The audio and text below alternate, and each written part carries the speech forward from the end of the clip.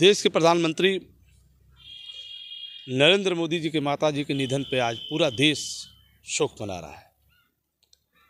आइए हम बात करते हैं। हमारे बीच अवलेश कुमार सिंह जी हैं। आइए सर। जी।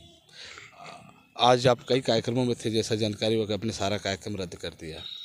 देखिए आज हमारे देश के प्रधानमंत्री माननीय नरेंद्र मोदी जी की माता जी का देहांत हो गया है।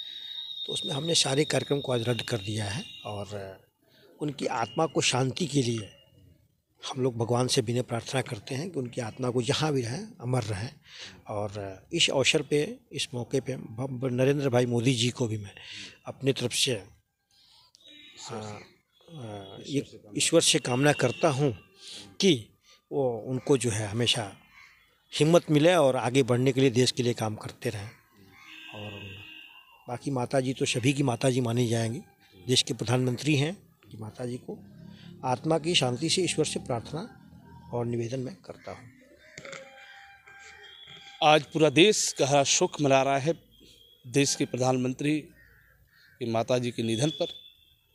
दिल्ली लखनऊ बिहार उत्तराखंड देश का हर राज्य स्टेट जनपद गाँव, शहर हर जगह शोक की लहर है। मैं भी ईश्वर से कामना करता हूँ उनके आत्मा को शांति मिले और देश के प्रधानमंत्री को हिम्मत मिले। ईश्वर शक्ति प्रदान करें। फिर हम आपसे जुड़ेंगे। तब तक इतना ही। नमस्कार।